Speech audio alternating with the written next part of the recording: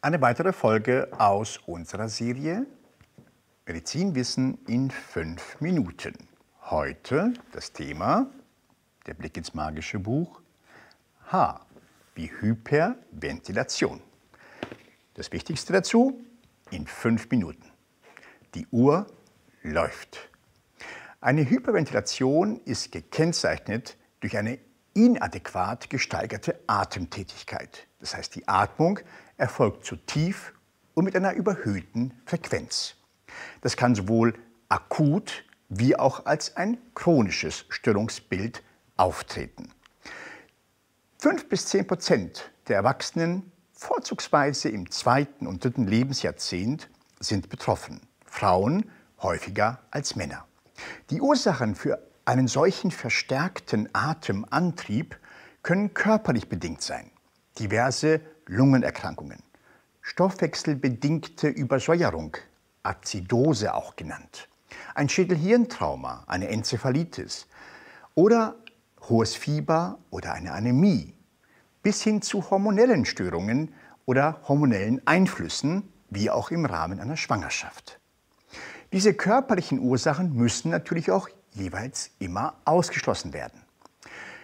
Wesentlich häufiger aber zeigen sich psychogene Faktoren verantwortlich für das Störungsbild.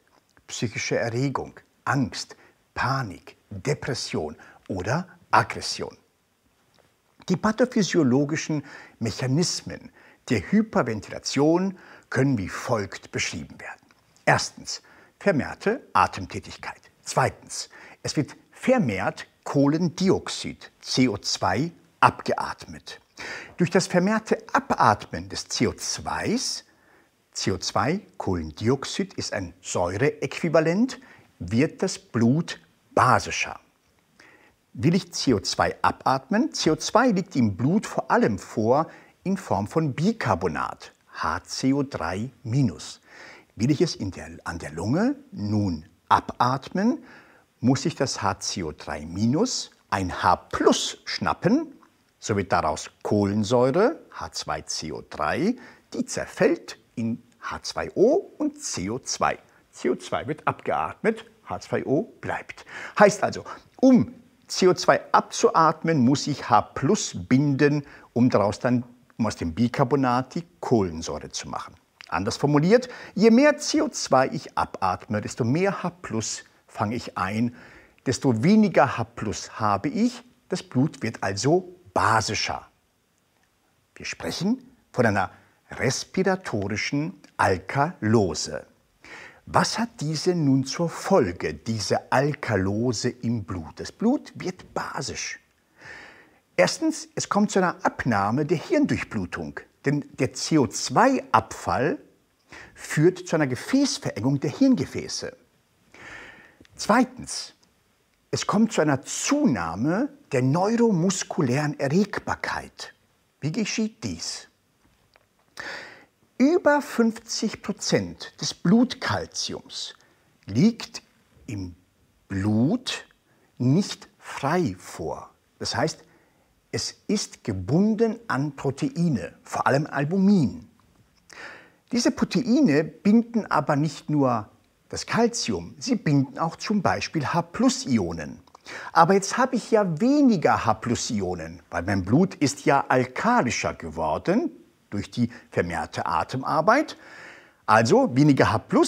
Das heißt, ich habe mehr Proteine, die nun arbeitslos sind weil ich ja weniger H zu binden habe. Also habe ich mehr Proteine, die nun Calcium binden können.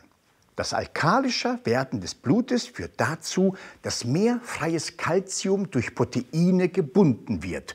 So habe ich weniger verfügbares Calcium.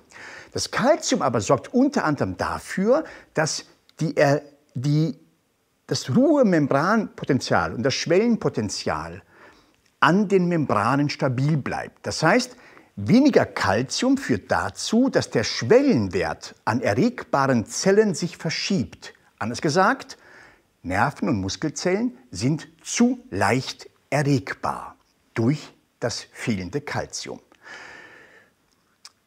Was zeigt sich nun symptomatisch? Die Symptome können vielfältig sein. neuromuskuläre, zerebrale, vegetative oder auch respiratorische Symptome sind möglich. Wichtig ist vor allem das Bild des akuten Hyperventilationsanfalls, der eben akut nicht kompensiert werden kann durch die Niere. Und hier zeigt sich ein Kribbeln, Perioral, ein Taubheitsgefühl, ein Kloßgefühl, Zittern und eine Tetanie, eine Pfötchenstellung der Hände und das nennt man dann eine Hyperventilationstetanie. Das Wichtigste ist gesagt.